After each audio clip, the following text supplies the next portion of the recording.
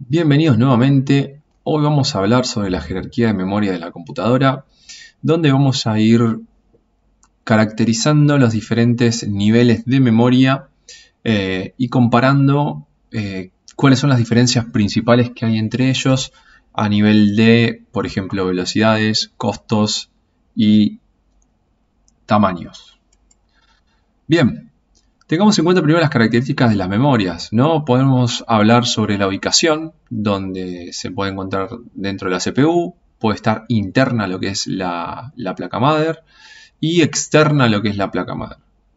Bien, cuando hablamos de capacidades, después podemos hablar en el tamaño de palabra que maneja ese tipo de memoria o el número de palabras también. Cuando hablamos de esto en videos anteriores, ah, trabajamos el concepto de memoria caché, por ejemplo, donde eh, el tamaño de la palabra incide en la transferencia entre memoria caché y procesador o CPU, y el número de palabras incide entre lo que es la transferencia entre una memoria caché y una memoria principal o memoria RAM.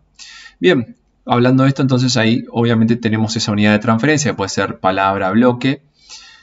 También tenemos que tener en cuenta el método de acceso, si es secuencial, si es aleatorio o si es asociativo, la cual desarrollaremos en videos próximos estos tipos de, métodos de acceso y mapeo de memoria.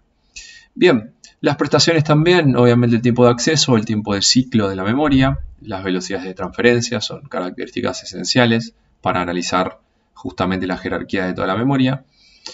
Las, características físicas, si es volátil ¿sí? o, no, o no volátil, si se elimina la información al estar, al dejar de, alimentar a esa memoria o no, si es borrable o no borrable, si se puede modificar el contenido de esa memoria o no, y obviamente la organización, cómo se organiza internamente.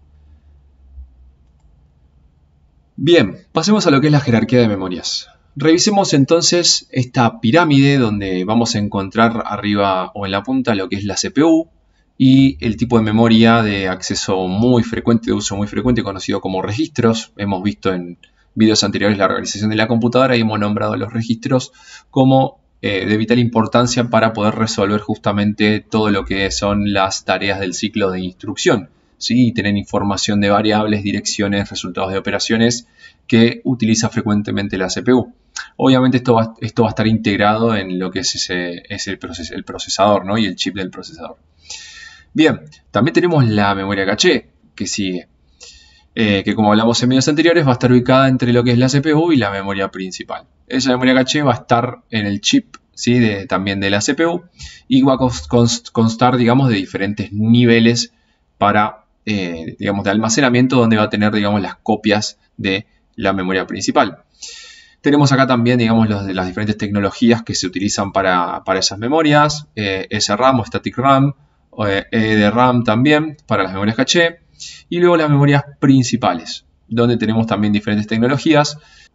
Vemos acá insertada lo que es la placa MAR como otro espacio en donde vamos a encontrar esa memoria. También vamos a tener eh, entre medio de lo que es en velocidades ¿sí? Eh, las memorias de estado sólido, donde vamos a encontrar las flash memories, ¿sí? los SSD eh, o los, eh, los dispositivos flash, ¿sí? donde obviamente acá lo tenemos fuera de la placa, este va a ser el almacenamiento secundario, ¿sí? generalmente la memoria principal es o memoria RAM, y luego tenemos lo que es el almacenamiento secundario, donde vamos a utilizar discos sólidos, en este caso, que como vemos tenemos mayor velocidad que los discos rígidos, ¿sí?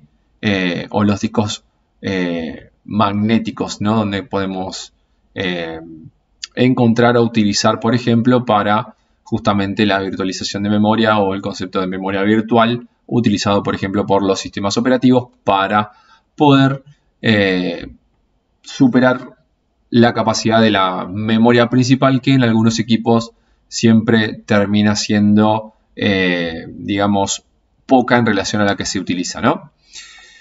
Bien, y por último podríamos encontrar, bueno, eh, cintas magnéticas, ¿sí? Como algo fuera de línea, almacenamiento fuera de línea, que obviamente se puede conectar a los dispositivos y llegar a esa información.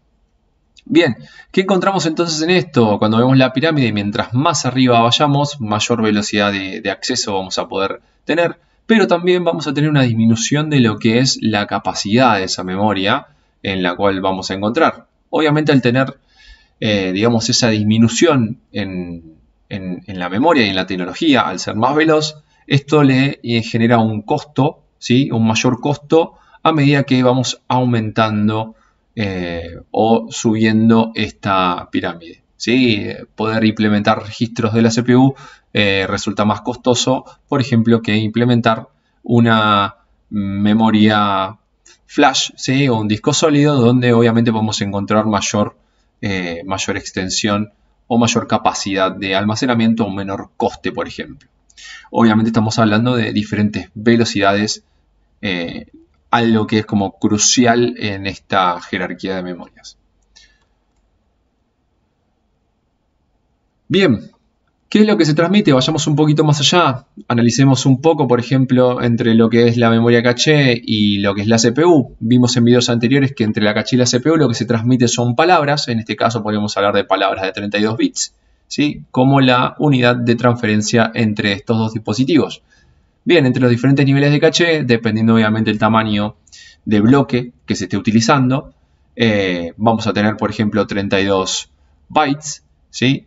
Como una medida estándar eh, que se pueden estar eh, trabajando en este caso. Bien, cuando hablamos entre caché y memoria principal, recordemos también que se va a seguir transmitiendo los bloques, ¿sí? Los bloques entre memoria principal y caché y estos se van a ir transmitiendo entre todos los diferentes niveles de la memoria para después pasarle las palabras a lo que es la CPU, ¿no? Bien, después podemos incorporar justamente con el almacenamiento secundario el concepto de memoria virtual manejado por lo que es el sistema operativo, donde en este caso la unidad de transferencia van a ser páginas, ¿sí? donde tamaños habituales podemos encontrar de 1 kilobyte, 2 kilobytes, 4 kilobytes, por ejemplo, entre algunos casos, donde fíjense que vamos transmitiendo mayor eh, capacidad de información entre estos dispositivos.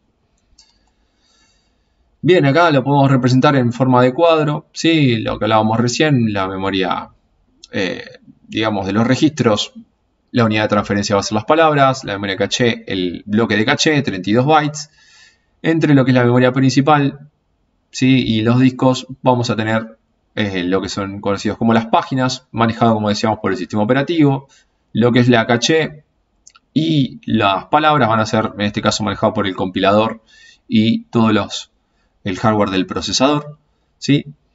Y en este caso también vamos a tener, como decíamos hoy, la, memoria secundaria o los discos magnéticos, eh, donde vamos a tener un tamaño de sector físico que va a ser manejado por lo que es el sistema operativo y el usuario tiene posibilidad también de modificar justamente la información de esos, eh, de esos sectores ¿sí? al almacenamiento, al almacenar diferentes tipos de archivos eh, en el sistema operativo.